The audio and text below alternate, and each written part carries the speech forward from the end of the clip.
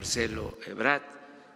El presidente mexicano Andrés Manuel López Obrador evitó el miércoles entrar en polémica con su homólogo estadounidense Donald Trump, luego de que éste criticara las recientes políticas de algunos gobiernos locales de México que calificó de facilidades para el paso de los migrantes centroamericanos que buscan llegar a Estados Unidos.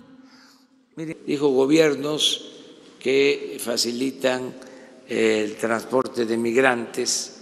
Eh, hay una larga explicación sobre esto, pero no vamos a eh, contradecir durante su discurso anual sobre el Estado de la Unión ante el Congreso, Trump insistió en su polémica propuesta de construir un muro fronterizo con México para enfrentar lo que considera una crisis de seguridad por la migración irregular y el tráfico de drogas. El mandatario ha redoblado su retórica contra la migración ilegal ante el avance de las caravanas de centroamericanos que cruzan México con el objetivo de llegar a Estados Unidos.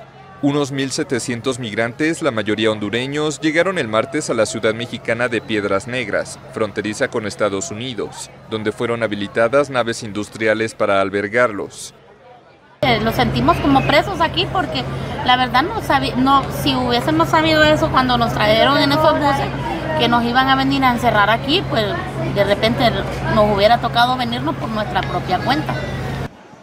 Además de los migrantes que llegaron a Piedras Negras, otro contingente de unas 3.800 personas que huyen de la violencia y la pobreza en sus países atraviesa el estado de Chiapas, limítrofe con Guatemala. El gobierno mexicano ha ofrecido una visa humanitaria que les permite trabajar y obtener seguridad social por un año.